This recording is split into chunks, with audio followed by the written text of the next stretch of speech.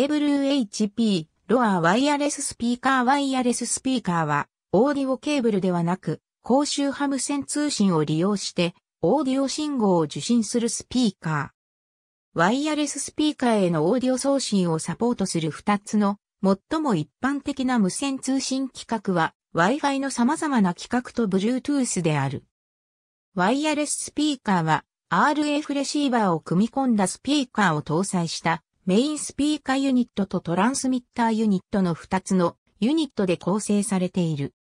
トランスミッターはハイファイ機器やテレビ、コンピューター、MP3 プレイヤーなどに RCA 端子などで接続する。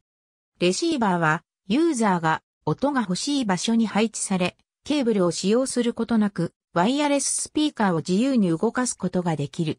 レシーバー、スピーカーユニットは、一般に、スピーカーへのオーディオ信号をブーストするアンプが内蔵されている。バッテリー、または AC 電気コンセントのいずれかによって電源が供給される。バッテリーは3から4時間持続し、一部のワイヤレススピーカーは充電式電池で動作する。ワイヤレススピーカーで使用される信号周波数範囲は一般にコードレス電話で使用される信号周波数範囲と同一である。RF 信号は壁及び床、天井を通過することができ、メーカーの大半は信号が45から91メートルの範囲で送信されると主張している。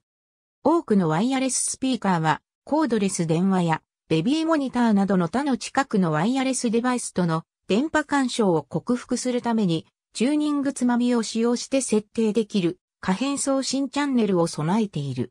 Bluetooth デバイスは無線通信システムを使用するため互いに見える範囲に置く必要はない。特定のニーズに合わせて様々な種類のワイヤレススピーカーが設計されている。ステレオスピーカーは一つのスピーカーで左右、ステレオチャンネルを両方配信できる。屋外での使用に特別に設計されたスピーカーは、堅牢なケースを備えており、メーカーは対抗性であると主張している。ホームシアターは、リアスピーカーのみが、ワイヤレスで、フロントスピーカーが優先である特殊なスピーカーを使用する。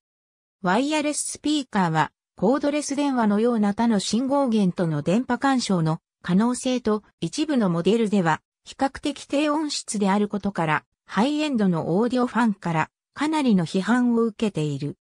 批判にもかかわらずワイヤレススピーカーは消費者の間で人気となり、市販製品の数も増加している。特に小型で持ち運び可能なワイヤレス Bluetooth スピーカーモデルは消費者の間で大人気になった。2015年から一部のワイヤレススピーカーは、ボイップ電話機能を搭載している。ありがとうございます。